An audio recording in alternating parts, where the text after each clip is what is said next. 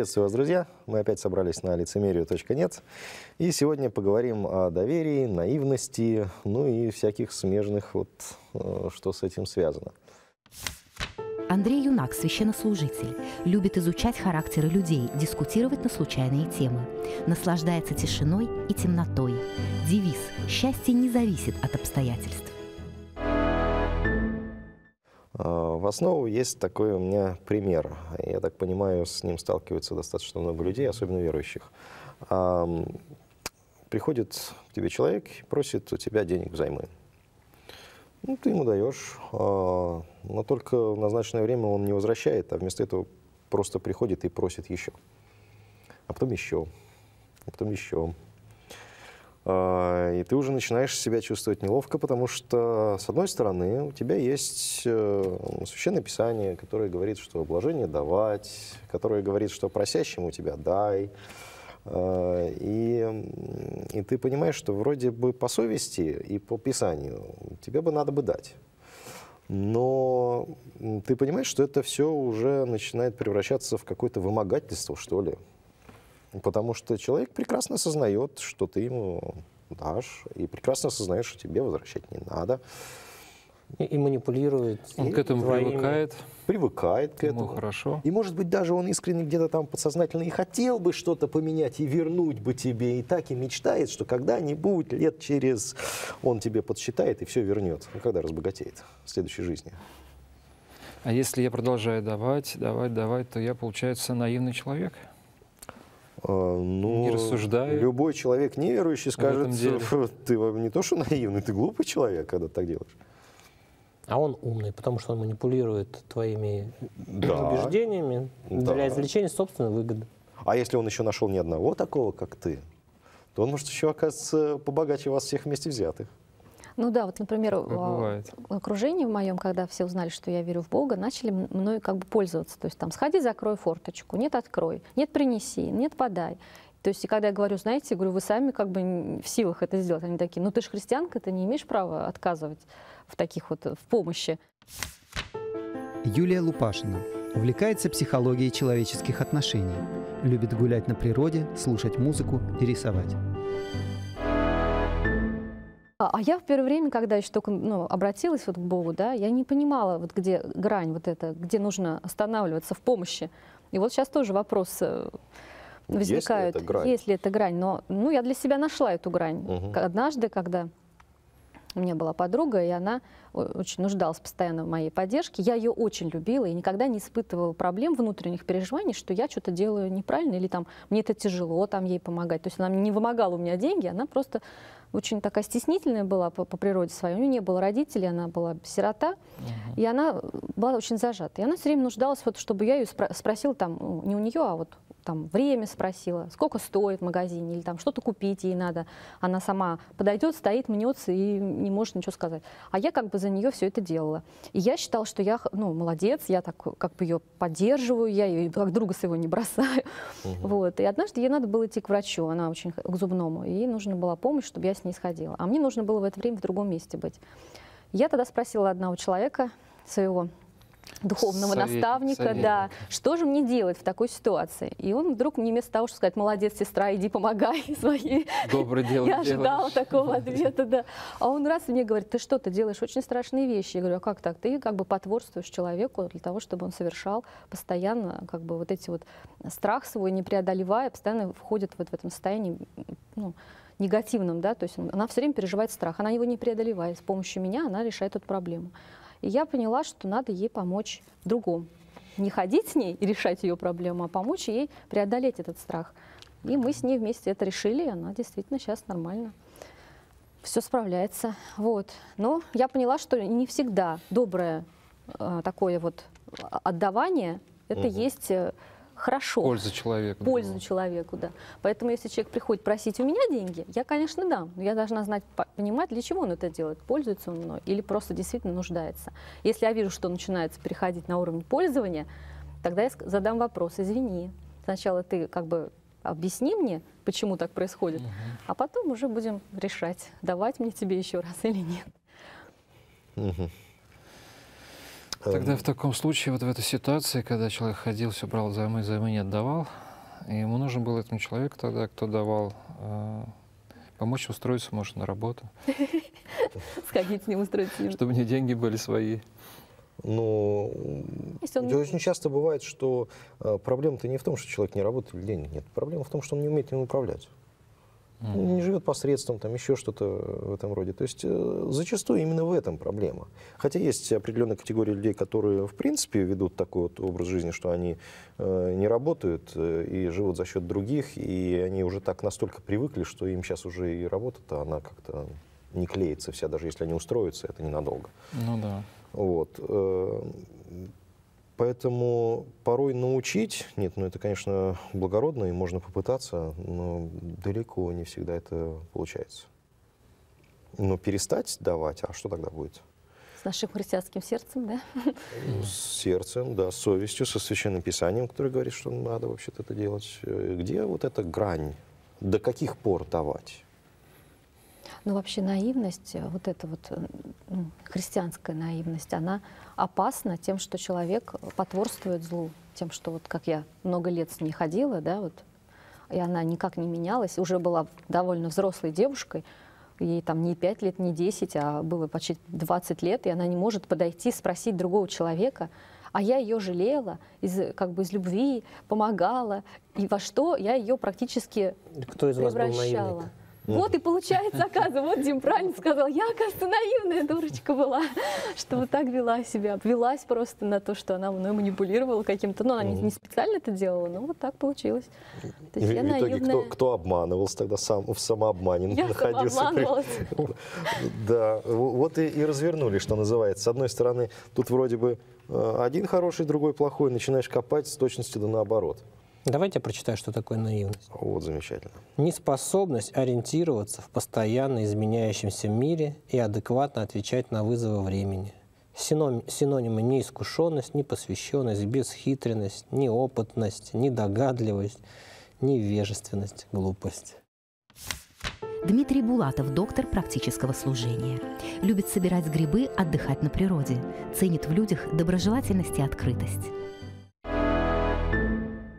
Ну, то есть говорят, что вот есть какая-то такая чистая наивность, да, когда ты вот искренне помогаешь. И, может быть, даже иногда лучше вот в такой искренней наивности ошибиться и лучше помочь человеку, чем где-то там догадываться о том, а вдруг меня обманывают, а вдруг там против меня там То есть лучше ошибиться в сторону милости да, в этом вопросе. меня да? хотят использовать, мной манипулируют, из-за этого проявить какой-то... Вот. Ну а что касается вопроса, ну, когда тебе говорят, что ты должен давать, потому что ты верующий, или должен все делать, потому что ты христианин, ну вот здесь я такого в Библии не встречаю. Не знаю, я, не- может быть, я как-то по-другому понимаю эти библейские тексты, но где, вопрос, да, где граница, когда дать, когда не дать? Если у меня нет возможности, во-первых, никто меня не обязывает давать, это раз. А во-вторых, это вообще мое личное право. Ну, смотри, как Причем Соломон пишет в христианство. при- притче. Дмитрий. Благотворительная душа будет насыщена. И кто напояет других, тот и сам напоен будет. Андрей Костерин, священнослужитель, любит заниматься спортом и выращивать овощи на своем участке. Много читает, увлекается историей. Конечно, когда речь идет о действительно нуждающемся человеке, да, и у тебя есть возможность ему помочь, конечно, надо помочь. Но когда речь идет о человеке, который тобой манипулирует, Ну, мы есть- иногда не знаем, манипуляция Да, это да. или нет. Мы же не можем сразу прям По- ставить порой клеймо. это, Ты порой это проходит э, со временем, то есть когда к тебе человек уже неоднократно обращался, то есть это не значит, что тебе нужно взять и отказывать человеку, как только он пришел. Ну Вот. Э, Я по- понимаю так, что если человек э, пришел за помощью, то если у меня есть возможность помочь, я постараюсь помочь. А, Другое дело, когда эта помощь превращается в нечто, не знаю, действительно как вы- вымогательство, есть Использование. использование, да. Э, Я понимаю, что это не, он не просто пришел, вот помоги мне раз, помоги мне два, Э, он уже, получается, э, я у него на побе- на побегушках выхожусь. Ну и смысл? У меня есть своя жизнь, которую я должен жить, у него есть своя. Ну, вот. Мы можем где-то друг другу помочь, но не пользоваться друг другом. И, э, и здесь надо четко где-то ставить границы, потому что, помогая ему, я начинаю отрывать время от э, себя, от семьи, от других э, обязанностей, которые у меня есть. Начинаю отрывать время, средства, ну, в зависимости от того, в чем именно начинает помощь. Причем э, э, давать это тому, кто еще не факт, нуждается в этом или нет. Да, это иногда бывает, человек действительно нуждается, это вопрос жизни и смерти. А иногда это вопрос просто... Прихоти. по- по- Да, может, не прихоти, нужно, но можно и обойтись без этого. У меня, может, самого этого нет. Он просит у меня деньги взаймы и покупает то, что я сам хочу себе купить уже сто лет и отказываю себе, потому что у меня есть Нет другие приоритеты. да. А он просто пошел и начинает пользоваться Мгм. Совершенно не обязательно давать. Я для себя относительно вот э, давать займы, вообще в идеале, конечно, Христос тоже сказал, что не, оставайтесь никому должным ничем, кроме взаимной любви. Но все-таки есть моменты, когда надо помочь, и финансово помочь в том числе. Да? Я для себя решил, если я могу дать, э, и при этом мне не вернут, и я буду себя нормально при этом чувствовать, да, то в таких случаях я могу дать взаймы. Вернут – хорошо, не вернут – плохо. Но если я чувствую, что я не смогу, чтобы мне эти деньги не вернули, я не дам. Этому принципу, кстати, э, давно еще, я э, еще в школе учился, один мудрый человек меня научил. Я в гостях у него был, и в этот момент к нему приходит человек, который у него что-то попросил займы. И э, я уже не помню, что именно просили, я не помню даже, дал или не дал, но я помню, что он после этого объяснил вот эту ситуацию и, сказал, что я даю только то, что я могу подарить. Вот. Могу подарить, все, никаких проблем, я даю. Э, Не могу подарить, извини, не могу, все. И э, это мне запомнилось надолго, я стал придерживаться этого принципа. Но вот есть еще один текст, который я хочу сюда же пока э, вклинить, потому как э, даже два текста. Один текст записан в Псалтире, в 36-м псалме. Э, Здесь написано так. «Нечестивый берет взаймы и не отдает». Ну, вот мы как бы нечестиво увидели. Ну да. А праведник милует и дает. И дает. То есть прощает и все равно дает. А, И э, если вы просто ситуацию описали, так а еще и с характеристикой, вот этот вот нечестивый, этот вот праведник. А, И я начинаю спрашивать себя, а сколько можно вообще миловать? То есть сколько вот он раз пришел, два пришел, пять пришел, сколько можно миловать? И сразу мне м, всплывает в памяти другое, когда Петр подошел к Христу и спрашивает, а до семи ли раз прощать? А Христос говорит, не, не до семи, до семи, до семидесяти. И все. И вот э, Но там написано И возникло. миловать.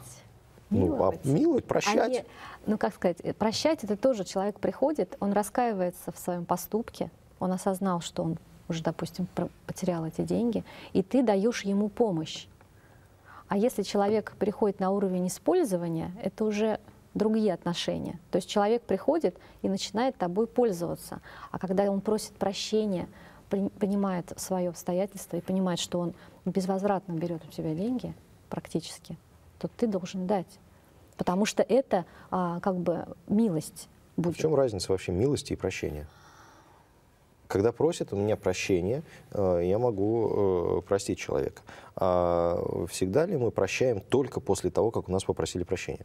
Ну да, тут как бы от внутреннего состоя- состояния зависит. То есть готов ты сейчас простить человека по-настоящему, а не просто «я тебя прощаю». Ну да. Очень часто просто я, я э, замечаю, по крайней мере, что в- бывают ситуации, когда э, к тебе человек приходит, начинает просить прощения, а ты так судорожно вспоминаешь, за что же он вообще просит прощения. Вот. Э, Потом, когда выясняется, ты понимаешь, что э, это тебя даже ну, и не тронуло тогда, то есть он тебя и не обидел, ничего, ну, вообще ничего не произошло. Или даже если произошло, ну ты как-то это встряхнул, забыл и, и, и простил без, без какого-то э, выяснения, без какого-то, ну, ну, не напрягло это тебя. Но человек, для, для него это, это было какой-то целая эпопея внутреннее как бурление, потом он превзошел через себя, и он пришел э, для того, чтобы просить тебе прощения. Э, То есть бывает ситуация, когда ты его уже простил, хотя он прощения не просил.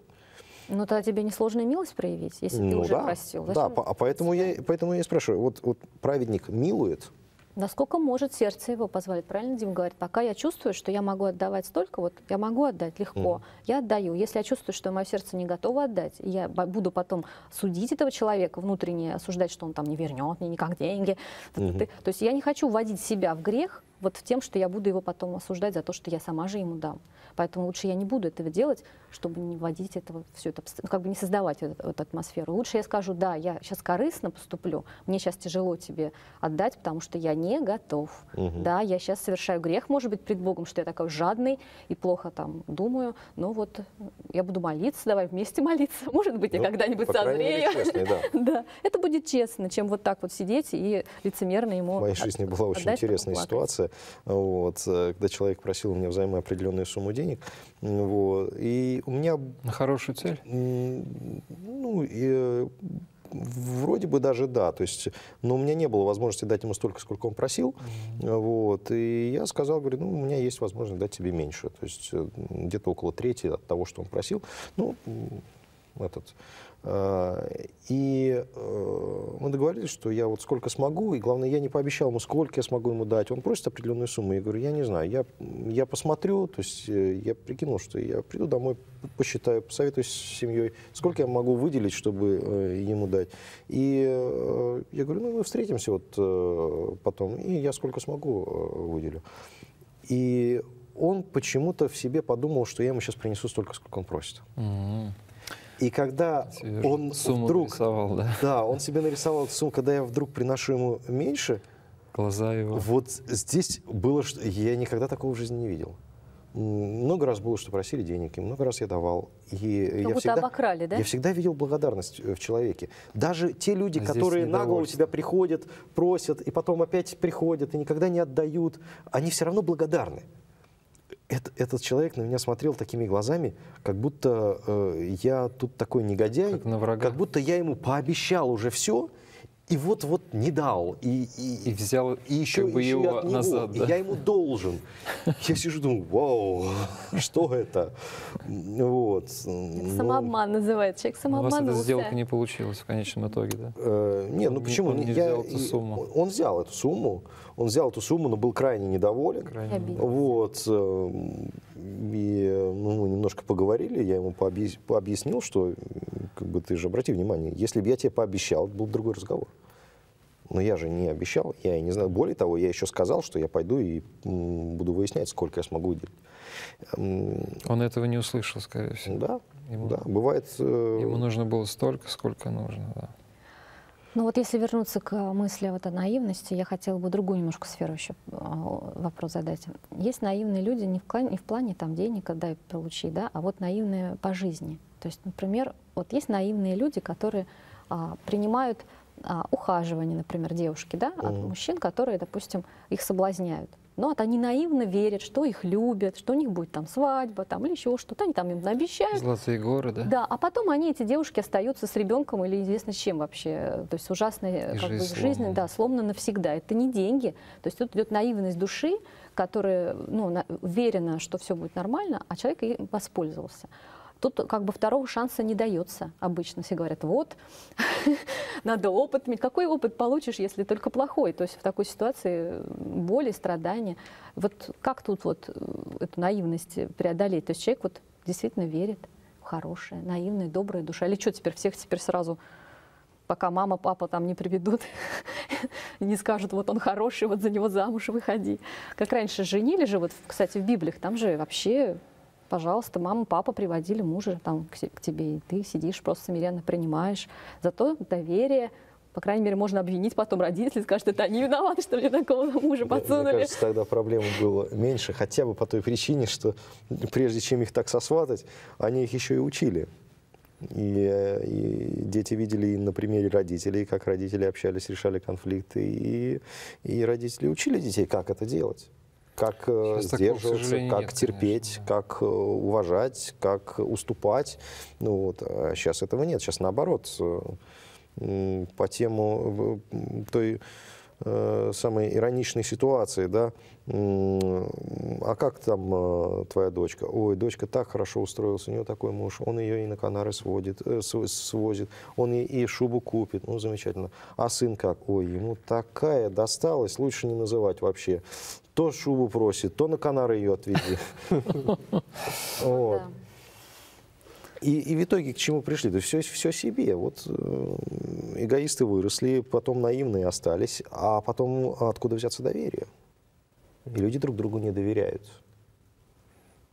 И неудивительно, что Христос в Писании сказал, э, а Сын Человеческий, придя, найдет ли веру на земле? То есть наивность вымирает, по Э, сути.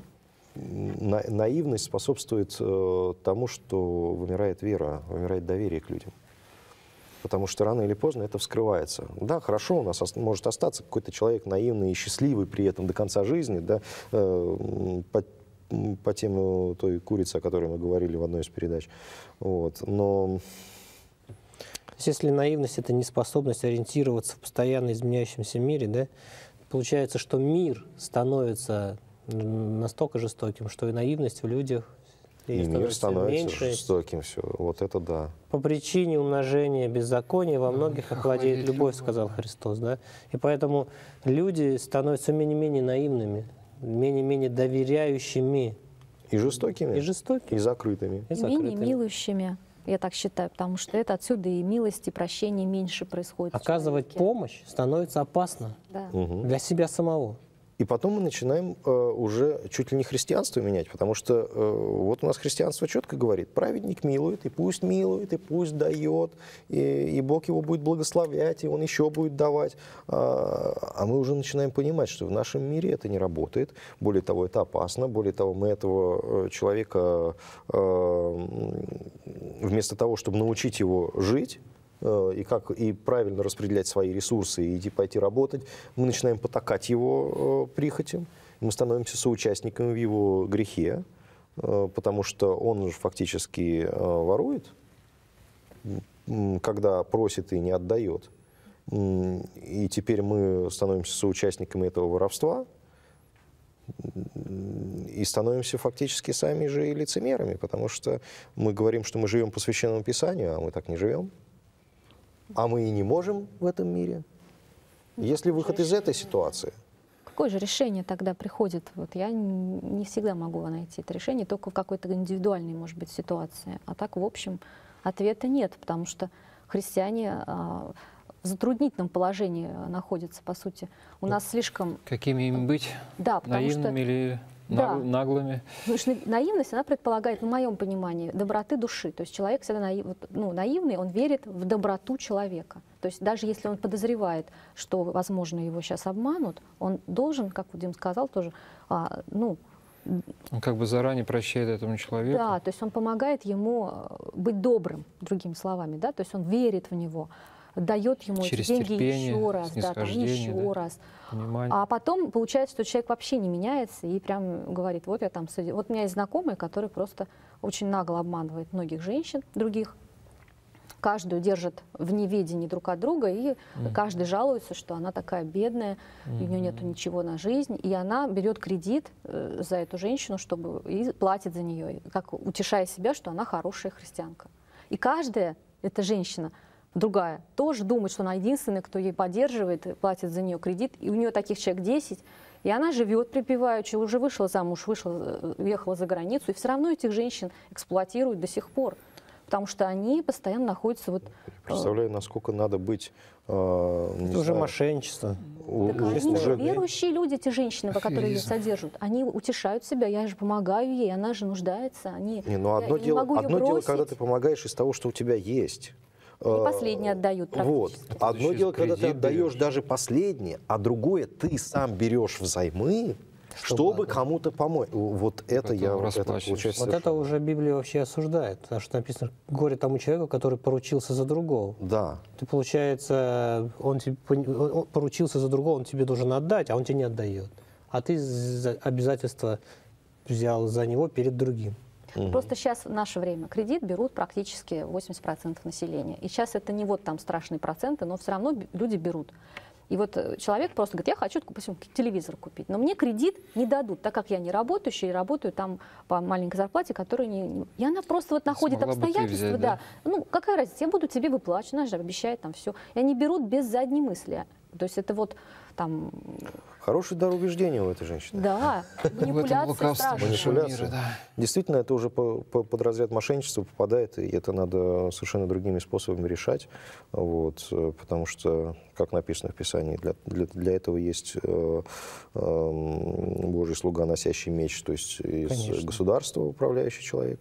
Для этого есть законы. э, Впоследствии вот. думаю, что это откроется. Но рано или поздно. Нет ничего тайного, что не сделать бы явно. Э, Я вижу в этом еще один э, пунктик, потому что в Писании написано, что вы должны быть просты, как голуби, но в то же самое время Мудры, как мудры, змеи. как змеи. И э, вот эта вот змеиная мудрость, тоже очень интересный факт, может, даже целая тема для размышления, Э, потому что змеиная мудрость напоминает нам только об одном случае, про Адама и Еву, там вот в саду, когда змей Еву обольстил. И казалось бы, что, э, ну что же нам теперь, становиться всем змеями, вот Подобно такими вот змеям. подхалимами, э, обольстителями, там еще кем-то. Но э, если обратить на это все ну, более глубокое такое внимание, понимание, то мы видим, что э, Бог-то все равно призывает нас оставаться простыми, как голуби. Просто не давать э, собой пользоваться. Когда к Христу приходили и задавали ему самые что ни есть каверзные вопросы, он тоже не на все отвечал. И на некоторые он отвечал совершенно не Вопросом. то, что от них ожидали. На некоторые он отвечал вопросом на вопрос. Но он делал это так, чтобы спрашивающий тоже понял, зачем он вообще спрашивает. Или чтобы вскрылась вот та ситуация неправедная, ради которой Настоящая вся ну, мотивация, настоящая мотивация этого человека. Вот. э, Поэтому иной раз э, нам необходимо не то, чтобы э, наивно жить по вот этой вот букве, давая и давая и давая, расточая, по сути, то, что Бог нам доверил, и расточая, по сути, на грех. Потому что человек этим пользуется. И пользуется не на благое дело. Ну, не будет ли э, как бы сложностью человеку определить вот это все? Сложности будет. Как он? То есть это все равно получается индивидуальный подход. Конечно. Только. Индивидуальный подход нужен везде. И Нельзя тут, тут- тут нужно, для нужно всего. складывать и свою, и житейскую мудрость, что называется, змеиную мудрость, и, и просить мудрости от Бога. Э, Для этого нам и дается Священное Писание, для этого у нас есть и, э, и церкви, и храмы, куда мы можем э, ходить молиться. Для этого у нас э, есть и Дух Святой, и общение молитвенное с Богом, когда мы можем получать какие-то э, от Бога э, м, откровения, либо э, через других людей, либо через Слово, либо через э, э, какие-то мысли, когда, э, как написано, и совесть ваша то обличает, то наоборот вас поддерживает в том, что вы делаете. То есть вот это вот общение с Богом, оно даст мудрость. Как написано, вы не думайте, что отвечать, потому что Дух Святой даст вам, что ответить. Но для этого нужна вот эта связь, чтобы была. Поэтому здесь христианин, настоящий христианин, гораздо больше защищен, чем только тот, который думает, что он христианин. И Им действительно пользоваться Не быть могут. лицемером. Считается, что Соломон был самым мудрым человеком на земле, да. И вот читая ее притчи, находишь э, некий смысл жизни, когда ты в своей жизни жизнь посвящаешь приобретению мудрости. И вот он пишет в 4 главе притчи «Главная мудрость, главная мудрость, а дальше приобретай мудрость, и всем имением твоим приобретай разум». То есть если мы в какой-то ситуации были, выглядели как наивные люди, да, это не повод остановиться на этом, а находиться в поиске вот именно достижения мудрости, как в следующий раз поступить. Мгм. Как вот Учиться на ошибках. Да, да. Юля была в ситуации вот со своей подружкой, она проявила как бы мудрость, потому что она ее приобрела от советника Да, и применила в своей жизни. Спасибо. И был положительный результат, как для нее, и так и для ее подруги. Ну что ж, слава Богу за эти размышления. У нас время уже подходит к концу. И увидимся на следующей теме.